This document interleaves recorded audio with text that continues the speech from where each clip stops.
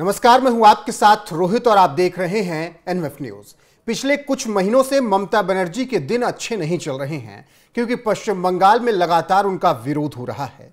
बेटी से दरिंदगी मामले में जिस तरीके से ममता बनर्जी का विरोध हुआ, उसके बाद ममता बनर्जी पहली बार डरी और सहमी नज़र आई। इसके अलावा संदेश खाली मामले ने भी ममता बनर्जी को बैकफुट पर धकेल दिया, और बीजेपी ने लगातार ममता बनर्जी के खिलाफ आवाज़ बुलंद की।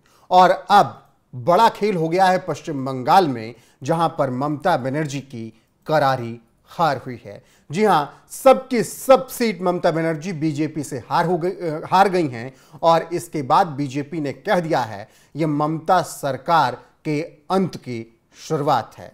खबर क्या है? विस्तार से चलिए आपको बता देते हैं। दरअसल, बंगाल में नंदीग्राम के मोहम्मदपुर सहकारी समिति के चुनाव में बीजेपी समर्थित प्रत्याशियों ने सभी नौ की नौ सीटों पर शानदार जीत दर्ज कर ली।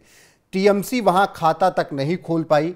बीजेपी ने इसे जनता की जीत करार देते हुए कहा कि यह बंगाल में ममता बनर्जी के कुशासन के अंत की शुरुआत है। राज्य के लोग आने वाले दिनों में टीएमसी को सभी जगह से उखाड़ फेंकेंगे। वहीं दूसरी तरफ़ स्थानीय टीएमसी नेताओं का कहना है कि यह एक गैर राजनीतिक चुनाव था। इसमें किसी पार्टी का कोई प्रतीक नहीं रहता। मोहम्मदपुर सहकारी समिति जिस इलाके के अंतर्गत है, वहाँ 2021 से अब तक बीजेपी का ही वर्चस्व है। जानकारी देती चले, देते चले कि नंदीग्राम को बीजेपी विधायक और बंगाल विधानसभा में विपक्ष के नेता शुभेंदु अधिकारी का गढ़ माना जाता है। शुभेंदु अधिकारी ने 2021 के विधानसभा चुनाव में नंदीग्राम से ममता बनर्जी को शिकस्त दी थी और तब से लगातार बीजेपी वहाँ पर मज़बूत होती गई और आज ये वक्त आ गया है कि नौ की नौ सहकारी समिति के चुनाव में बीजेपी ने सीटें जीत ली हैं और टीएमसी का सफाया हो गया है खाता भी नहीं खोल पाई हैं।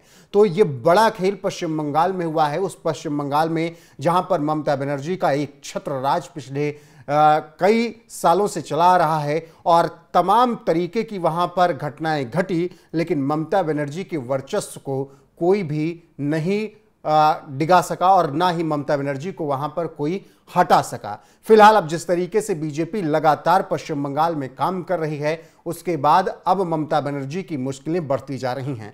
पहले संदेश खाली मामले में ममता बनर्जी की मुश्किलें बढ़ी, उसके बाद जिस तरीके से बेटी के साथ आरजीकर मेडिकल कॉलेज में दरिंदगी हुई और हत्या की गई, उसके बाद फिर ममता बनर्जी के खिलाफ जन सैलाब सड़कों पर उमड़ पड़ा और लगातार ममता के इस्तीफे की बात उठने लगी। इस बीच ममता बनर्जी पहली बार डरी सहमी नज़र आई और उन्होंने पहली बार बयान दिया कि वो इस्तीफा देने के लिए तैयार हैं, क्योंकि जनता के लिए वो कुछ भी कर सकते हैं। फ़िलहाल उन्होंने बहुत शानदार तरीके से ये बातें कही थी और फिर भी कुर्सी पर विराजमान थी। लेकिन अब जिस तरीके से सहकारी समिति चुनाव में ममता बनर्जी कि टीएमसी को करारी हार मिली है, जिसके बाद बीजेपी इसे ममता सरकार और ममता राज के अंत की शुरुआत करार दे रही है। उसके बाद निश्चित तौर पर टीएमसी को और ममता बनर्जी को अब नए सिरे से सोचना होगा। बहरहाल, जिस तरीके से बीजेपी बंगाल में मज़बूत होती हुई नज़र आ रही है, उस पर आपकी राय क्या है? कमेंट में ज़रूर बताइएगा, वीडियो को शेयर कीजिएगा, लाइक कीजिएगा,